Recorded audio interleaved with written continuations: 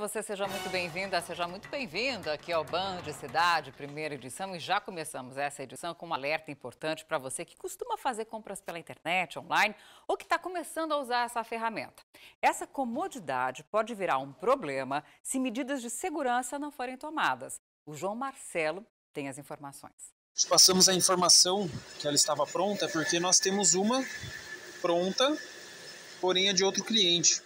Os móveis aparecem em anúncios da rede social da loja. Eles atraíram essa mulher, que prefere não ser identificada. Pagou 15 mil reais por móveis sob medida. Fez contato e tudo, mas nunca recebeu a compra. A resposta da empresa? Ele falou que naquele momento eu já sabia o que ia acontecer.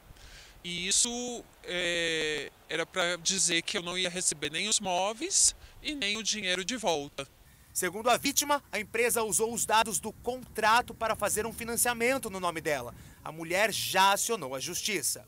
Ela faz parte de um grupo de mais de 50 pessoas que descobriram ter caído num golpe. Gente que comprou pela internet e não recebeu. Alguns até chegaram a receber os móveis, mas com defeitos.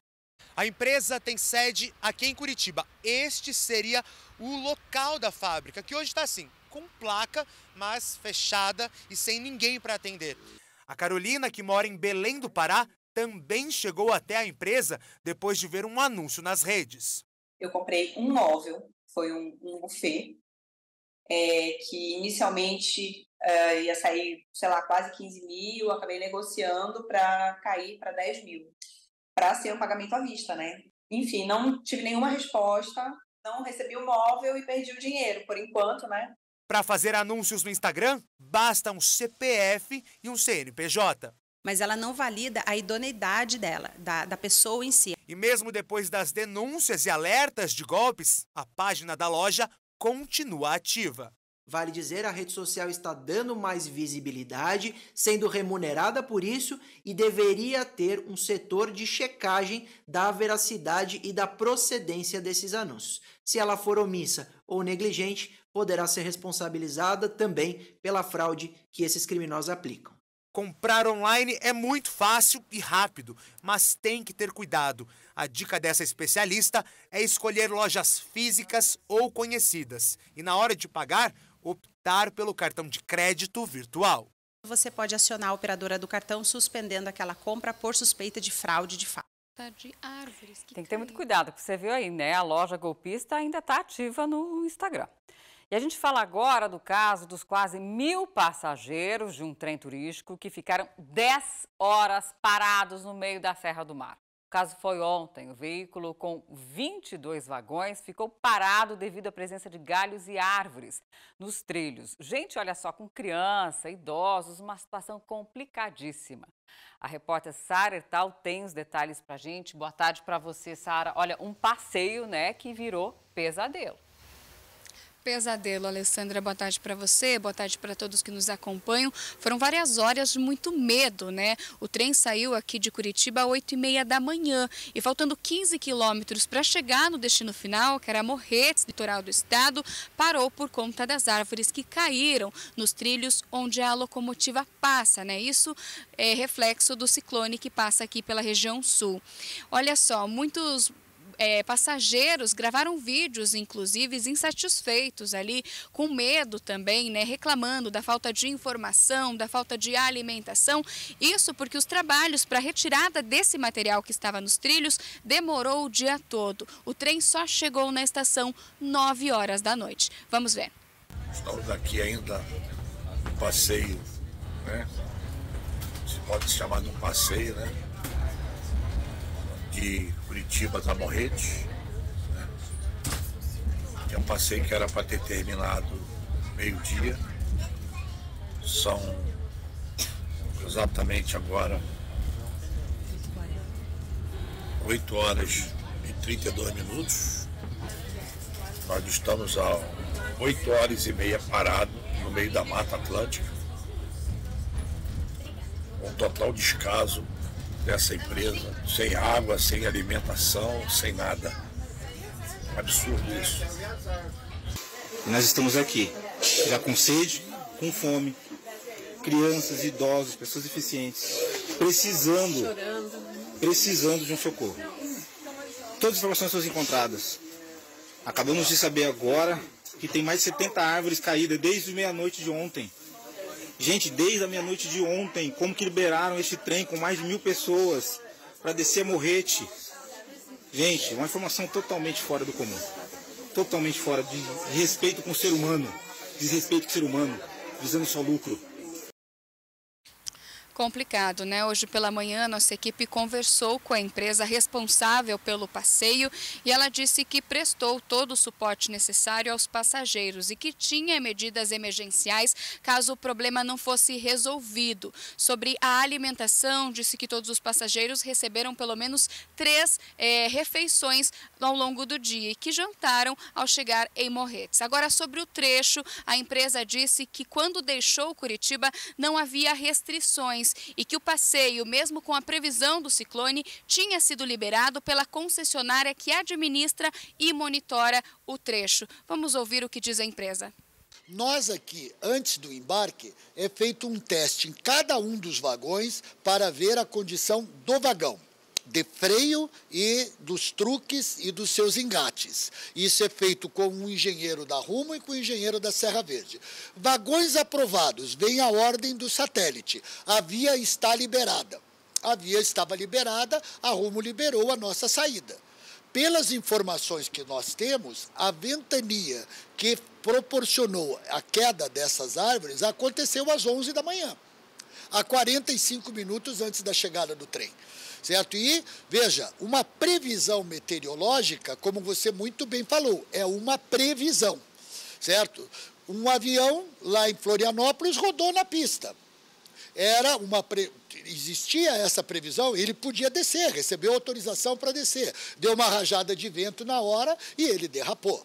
Então, essas coisas emergenciais são da natureza, tanto que elas são chamadas né, de situações atípicas, certo? Então, exatamente isso que aconteceu ontem. Até o momento da nossa partida, não existia nenhum óbice de via.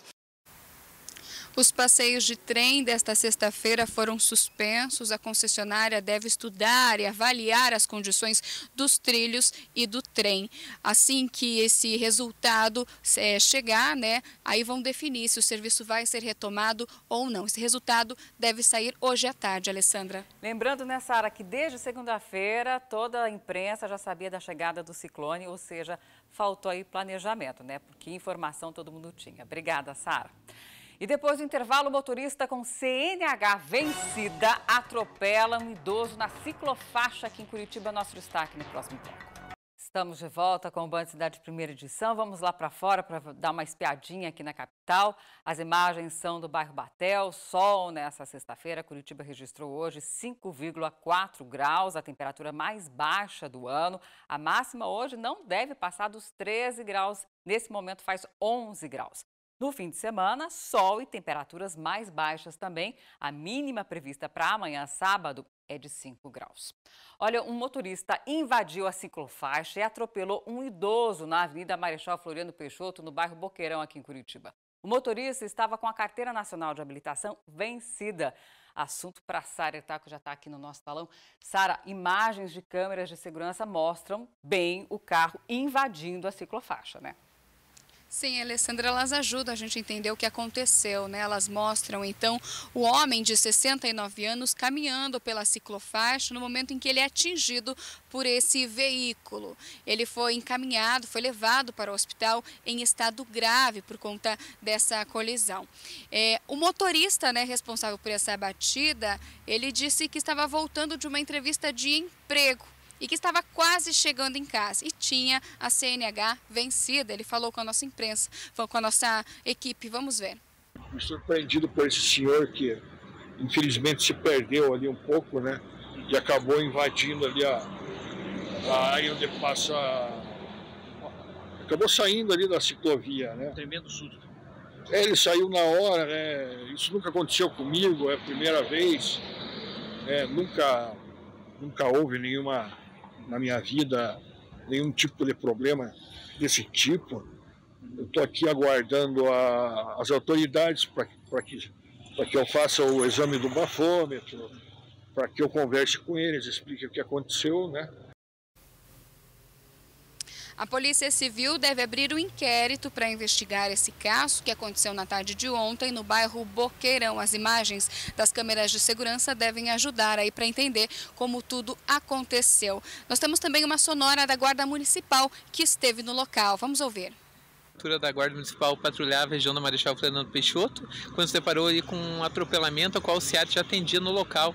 Daí a viatura parou para dar suporte ao trânsito, daí doravante identificada a vítima, aí, o senhor Juvenal Ferreira, 69 anos, o qual aí foi atropelado por um veículo cadete.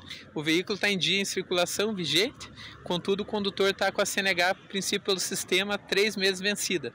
Teve uma testemunha que informou que o cidadão da bicicleta vinha cambaleando pela ciclofaixa a quadras anteriores, contudo que no local teve comerciante também apresentou um vídeo aí relatando que o cidadão aí trafegava pela ciclovia e foi atingido pelo veículo na ciclovia. São duas versões para o mesmo fato.